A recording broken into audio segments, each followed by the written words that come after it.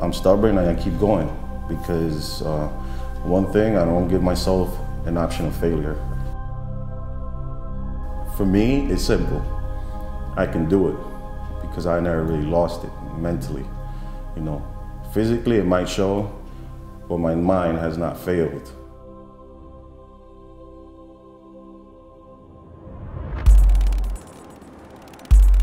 Crossing from New Jersey to Brooklyn in the middle of the day is no easy task.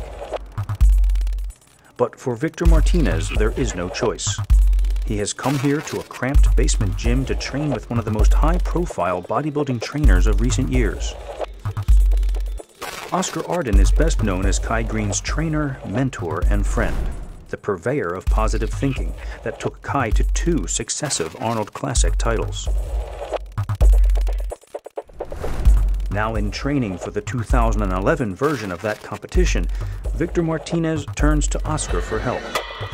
The fact that he will brave New York traffic for several hours a day, day after day, says something about his determination to win this contest. Because this time, for Victor, it's do or die. There is no plan B. You can say, how many beginnings can you have? As many as you need. And this in my life is a new book that I'm about to print.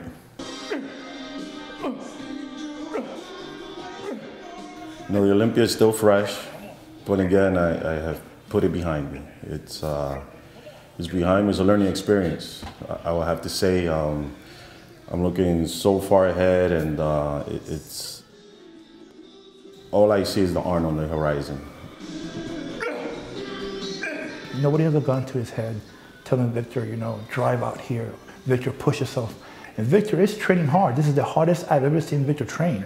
You know, he's doing exactly, you know, because I also had the mindset where people had said, oh, Victor is not a hard trainer, he doesn't push hard. But I, you know, he's, he's doing it. He's, he's pushing it. And, if, and, you know, having with me at every session, there is no doubt in my mind that he's training harder than anybody out there. So he's, he's I'm very proud of, of, of everything that's happened so far.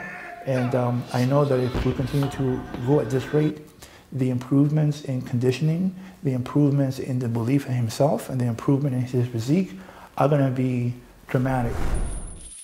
Vic's previous effort for the Olympia, under the tutelage of Joe McNeil in Tampa, Florida, was for the most part a long distance relationship. I have always wanted to work with Oscar. We never did. We never did some side tracks here and there, and and I just saw it was a better match only because he's in New York. I don't have to send him pictures. I didn't want to deal with the picture thing anymore. You know, chose to work with Oscar. Still working uh, with Victor. You know, he's never out. He's he's family. He's like a dad, and uh, you know, and still keep pushing. You know, been in it from the beginning to the end, and and uh, Oscar just you know mends things a different way that I know my body can still handle.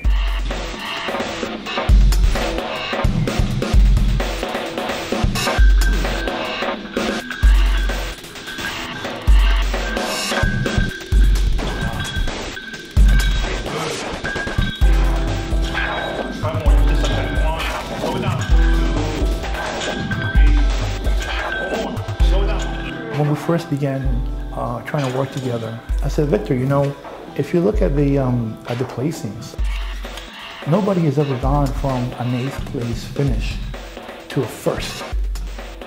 To do that, you really got to take yourself to the next level.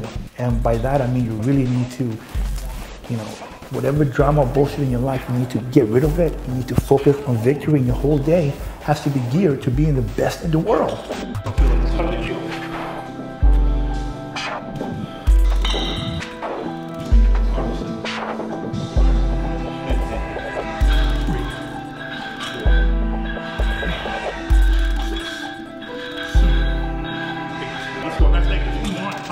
Both Victor and Oscar certainly have their work cut out for them. A comeback like this is unprecedented, and there is still the matter of Victor's recurring problem. It's well known that Victor's downfall has all too often been his conditioning on the day of the show. It is a daily topic of discussion on the muscular development forums, where Vic has his own subforum. I had a few fans ask me, "Did you cheat on your diet? Do you not train hard enough?" You know, and I'm like, "No." You know, it's like that. I think aggravates me the most because no, no, and no. You know, to all of it, it's just basically when I thought I was pushing hard enough, I wasn't. When I thought I was dieting hard enough, uh, sometimes I felt like I wasn't. But when you get the guidance that's telling you yes, you are, then that's what you follow. You know, I mean, I'm one. I'm a stickler to to follow directions. When and does it mean you're being led the right way? Not necessarily. He's the type. He's the type of physique that you see in bodybuilding contests that has everything there. Except if he came in shredded, he would win everything. That was that guy. That was Victor. I'm pushing his nutrition to the best that it could be. I'm pushing his training the best that it could be. And when you're doing that and you're uh, believing and, and seeing changes in your physique, you know, you, you, you know, you're gonna make improvements. After the Olympia, we made sure not to allow his body weight to get so heavy, so he stayed very lean. So actually, right now, at about 51 days out from the show, we're ahead of the game, you know, and uh, I know mentally for him, that's a relief.